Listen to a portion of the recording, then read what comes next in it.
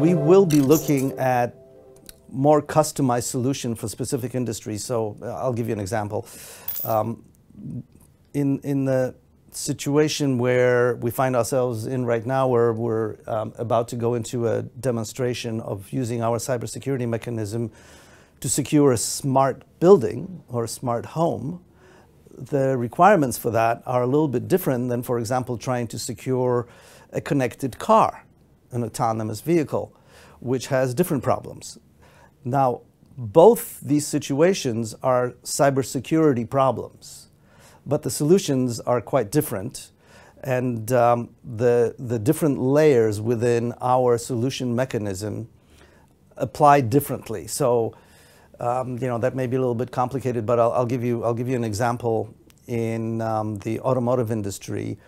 Uh, our machine to machine security mechanism uh, can be adapted to solve one of the most common problems today with modern cars, which is um, proximity key interfaces.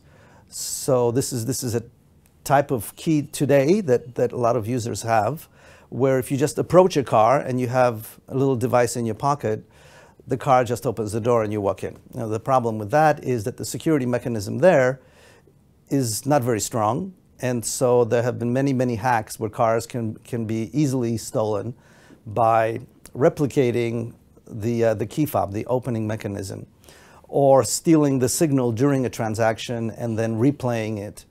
And so our cybersecurity, machine-to-machine cybersecurity mechanism that we have today actually solves that problem. So, um, but we have to change it a little bit to really work in the automotive environment. Um, we don't have to do that kind of uh, that kind of change in the smart home environment because it's it's a it's a different problem.